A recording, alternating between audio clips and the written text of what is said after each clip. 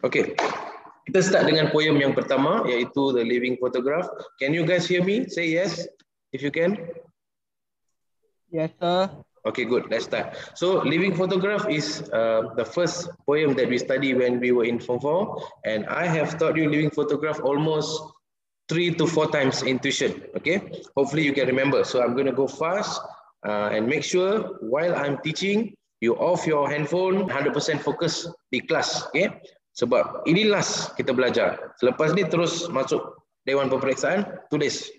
So jangan ada gangguan, ha? jangan menyesal nanti ya. 100% fokus for me. Okay. First, stanza one. Baris yang dia guna dalam ayat pertama ialah My small grandmother is tall there. Okay, the meaning of this is the persona is describing a grandmother in the photograph. Dia kata tall kan. So tall ni apa yang dia maksudkan ialah dia sihat dan okey kuat. Sebab selalunya orang tua sudah jadi pendek, bongkok dan sebagainya.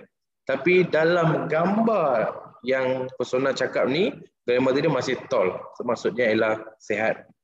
Okay, next. Ayat seterusnya. Straight back, white brodery English shirt, pleated skirt, flat shoes, grey bun. Semua ini adalah berkenaan dengan cara pemakaian nenek dia. Okay, straight back ialah physical dia, fizik dia, badan masih tegak. That's called straight back. So, ini menunjukkan dia masih muda lagi. Walaupun grandma, tapi dia belum sampai ke tahap yang tua dan sakit. Ha, masih aktif dan uh, adult yang biasa lah kan, straight back. Okay. Urat white brodery English shirt ni, okay, untuk pengetahuan pelajar yang sudah lupa, perkataan English ialah se, se, se, sebenarnya bahasa Perancis. It's French. In French, to say English, they say English. Ha, macam tu. So ini bahasa Perancis. So maksudnya baju English yang putih. Brodery ini maksudnya baju yang ada lubang-lubang yang dianyam. Okey, baju macam tu. So dalam uh, bahasa Melayu kita guna kita tak sebut English kita sebut Inggeris betul tak dalam bahasa Cina kita sebut Ingwen lah Ingwen ke apa something like that lah ha? so dalam Perancis kita say English setiap bahasa ada cara untuk sebut perkataan English ha? so, itu maksud dia baju je baju putih yang beranyam okay English style pleated skirt skirt yang kemas flat shoes kasut yang tak ada heels, tak ada high heel lah, kasut yang flat saja. Lepas tu grey bun, rambut yang bun. So berdasarkan ayat ni semua, kita boleh buat kesimpulan that a physic appearance, physical lah, physical tu nampak, mata nampak apa itulah physical. Her physical appearance, straight back, and what she wears is very neat and proper. So kalau soalan suruh kita jawab berkenaan pemakaian dia ataupun fizikal dia, kita boleh guna uh, ayat neat and proper macam ni. Okay? Neat ini kemas maksudnya. Okay. So broderie English shirt is French for English embroidery. Embroidery, I think you know what is embroidery kan? Ya, yeah, Okay, next. A kind old smile around her eyes. So bila dia senyum dalam gambar tu nampak sangat kind. What is the meaning of kind? Baik kan? Okay. Cara dia senyum tu kita rasa orang ni mesti baik. So itu ialah stanza one. Sekarang kita sambung lagi stanza one. Okay. Her big hand holds mine. Macam ini. Okay. So bila orang tua pegang tangan kita, kita rasa terjaga. Somebody is taking care of us. We feel protected. So orang tua tu ialah orang yang caring. Sebab tu dia pegang tangan anak dia atau cucu dia. Okay. So her grandmother is loving and caring. The persona feels protected. Okay. Ni clear? Continue. White hand in black hand white hand in black hand. Ha, malangnya saya dua-dua black hand. Saya tak boleh nak tunjuk white hand. Ini white hand. Ha. ha. So white hand in black hand ialah tangan hitam memegang tangan putih. White hand in black hand. So apabila ada unsur warna di sini, apa yang kita faham ialah this tells us that the grandchild may come from a mixed racial background. Apa maksud mixed racial background? dia punya bangsa ialah bangsa campuran. Mungkin disebabkan disebabkan perkahwinan campur in English we say mixed racial background mixed marriage atau mungkin persona ialah seorang anak angkat dari bangsa yang lain. Okay, mungkin orang putih punya keluarga ambil anak angkat dari keluarga yang lebih hitam ke apa ke. So there's a combination of white and black dalam family dia. Okay ada juga banyak uh, nota yang saya baca yang memberitahu bahawa hitam dan putih ini bukan saja melambangkan warna tetapi dia juga ada lambang lain. So, white hand cucu dia persona represents the poet's youth, purity and innocence. Bila kita kata putih, putih adalah satu yang suci kan, ha? purity. It's pure. Orang yang muda, orang yang innocent, dia tak tahu apa. Bayi yang sangat baik. Orang tu kita panggil sebagai innocent. So kita guna warna putih. Black pula ialah untuk nenek sebab kita anggap warna hitam ialah warna tu menunjukkan ada pengalaman yang tinggi. So grandma diberi warna hitam sebab the grandma is experienced. Manakala cucu diberi warna putih sebab cucunya ialah innocent, young and very pure. So ada juga uh, faktor begini. So kalau soalan tanya berkenaan warna ni kamu boleh kata ayat seperti mixed background. Uh, kalau dia tanya siapa putih siapa hitam tak pernah keluar soalan macam tu. So kalau keluar you can say the white hand is for the persona because she is she was young and pure in the picture, young and innocent in the picture.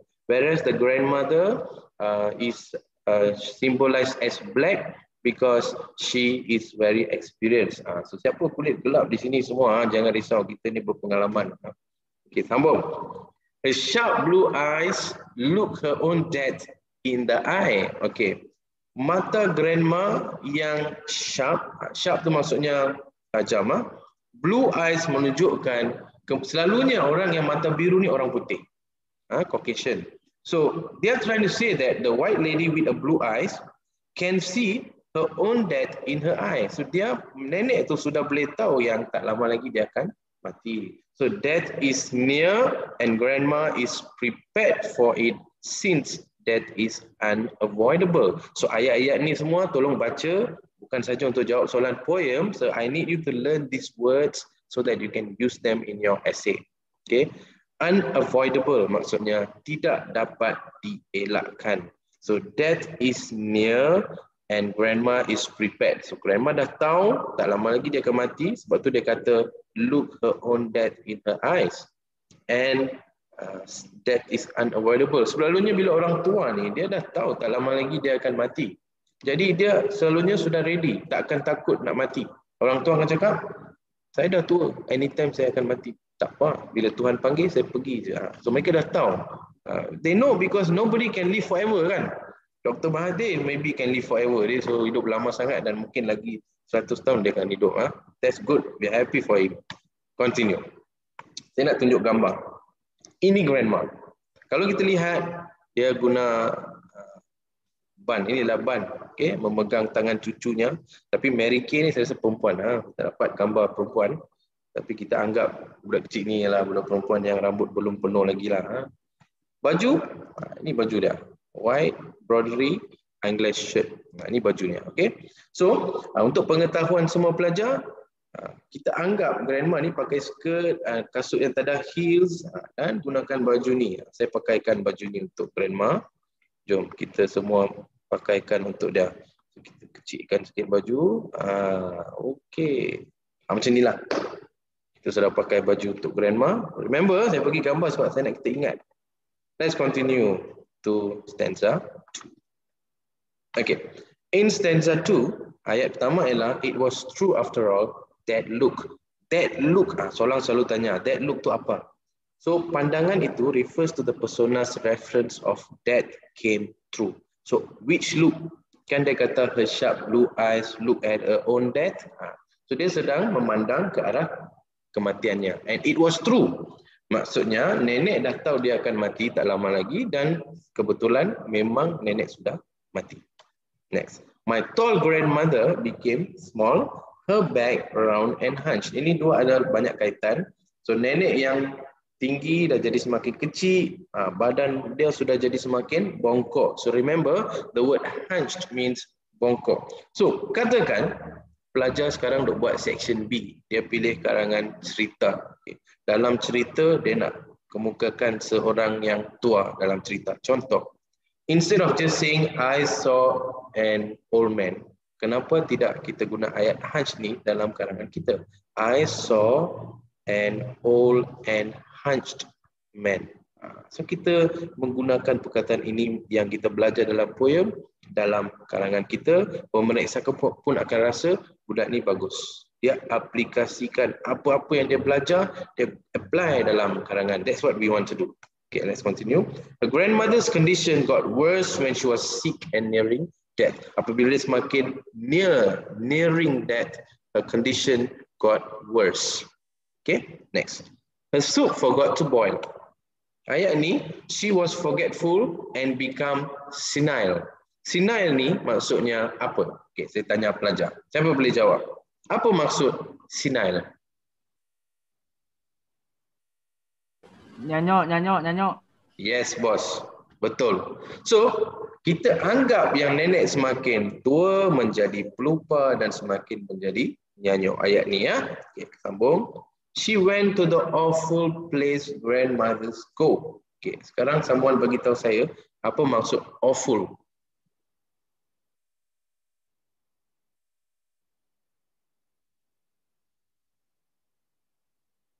Ada orang chat. Teruk. Ha, Nakib cakap, sembanglah. Nakib bikin talk to each other. Jangan malu-malu. Kecuali mic dia tak betul lah. Okay. Nakib, you're right. Awful ni teruk. Dia pergi ke tempat yang teruk yang grandmother go. Maksudnya sudah mati.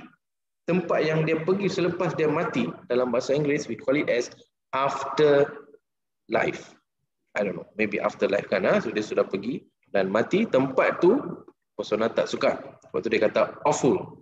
Okay, walaupun syurga, I tak suka. Sebab nenek saya mati, I don't like it. So dia kata awful place.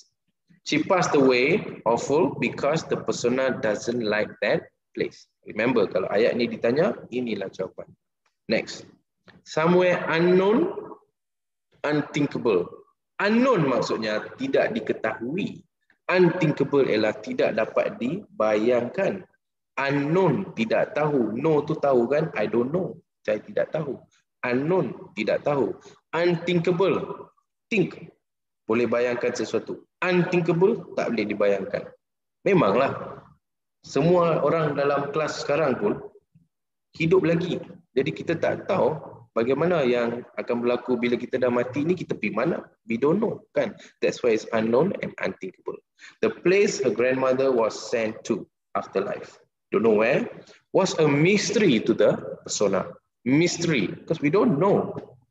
We have a rough idea but we are not sure kan. It was a place that no one close. Ingat semua ni ya. Nanti saya akan hantar slide ni dalam grup Telegram. Pelajar boleh baca berkali-kali sampai faham. Jangan miss satu markah pun. We want maximum marks for poem. And guna perkataan ni semua dalam karangan kita. Stanza 3. But there she is still in the photo with me at 3. Ini simple sangat. The persona is looking at the photograph of her grandmother and her when she was 3 years old. Okay. And then the crinkle smile is still living, breathing. Okay, perkataan crinkle ni maksud apa? Crinkle ni. Ha, siapa tahu? Siapa tahu crinkle ni maksud apa? Bagi answer. Ada orang chat. Kedut. Yes, you're right. So crinkle ni maksudnya berkedut. Orang bila dah tua kan, kulit akan berkedut-kedut, ada line-line-line. Ah, itulah crinkle. Tapi senyumannya yang crinkle dalam gambar tu masih hidup, masih bernafas. Mana boleh senyuman dalam gambar dihidup dan bernafas? Tidak boleh. Tapi apa yang dimaksudkan ialah to her, the memory of her old grandmother is still new and fresh. The memory is still living. Uh, the grandmother is dead, but the memory of the grandmother is still living. So to her, the memory of her old grandmother is still new and fresh. Okay. Then ajar the charge of the light brigade. Okay, jom.